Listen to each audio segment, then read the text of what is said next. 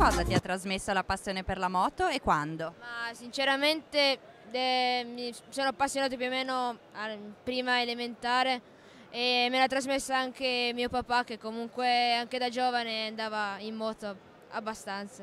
Cioè, quindi anche lui mi ha trasmesso questa passione. Poi adesso con il primo scooter eh, mi sono appassionato ancora di più e cerco di prendere 125 adesso.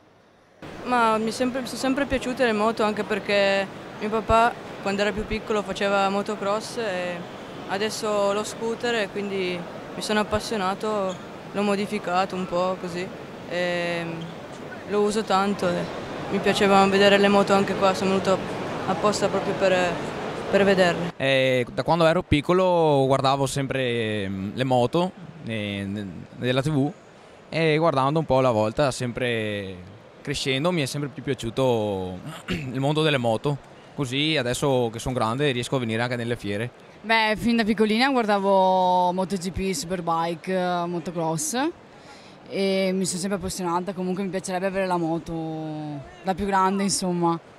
Da quando ho sei anni per la moto.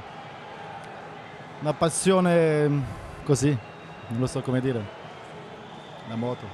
Ah, mio papà è un motociclista da più di 30 anni, quindi penso lui. Ma io ho sempre avuto la passione per le moto, perché mio padre era meccanico di moto. Ma già da giovane io già di, in me mi è sempre piaciuto e niente, ho proseguito tutti questi anni anche guardando fiere, tutto, seguendo la tv, tutto così. E quali sono le cose che ti sono piaciute di più di questa fiera EICMA? Ma adesso devo ancora girare un po' tutta. Comunque la prima impressione che mi ha dato è molto bella e comunque tante moto. E sinceramente un'ottima occasione per divertirsi e appunto informarsi su prezzi, accessori appunto per le moto.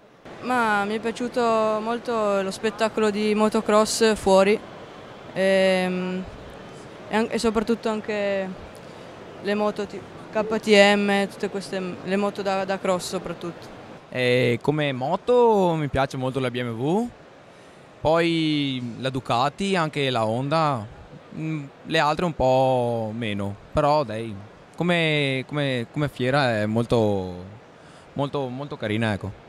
Intanto complimenti perché è veramente una bellissima fiera, e, ma un po' tutto comunque, gli stand sono organizzati bene, sempre più grandi. Tranne le moto? Niente, solo le moto. Ma credo... Ma... Non lo so, adesso gli spettacoli fuori.